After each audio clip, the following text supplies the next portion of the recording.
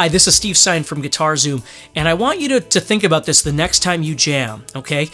When you're gonna improvise a solo or whatever it is that you're gonna be doing, I want you not only to think with your eyes and your, your visualization or your memorization of your fretboard, I want you to start really thinking about using your ear, okay?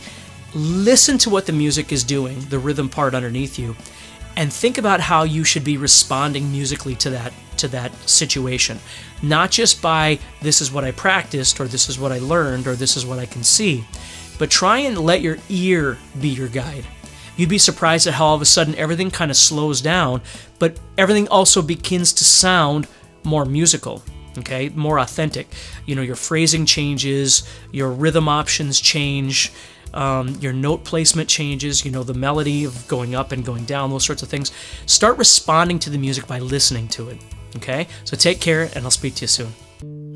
Hi there. Thank you so much for watching this video. I certainly hope that it helped you a little bit. Um, if you enjoyed the video, please do me a huge favor and either like it, subscribe to the channel, share it, or comment on it. Okay? That's going to help us out enormously. Um, and then we can keep in contact with you when we have new material that comes out. And if you uh, enjoyed the video, we've got some other videos over here that you can watch that might be able to help you on your guitar journey as well.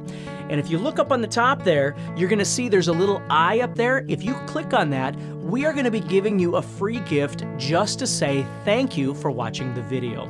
Um, and then if you'd like to follow us on social media, you can use the term at Guitar Zoom and you can find us there. All right. So take care, keep practicing, and have a great day.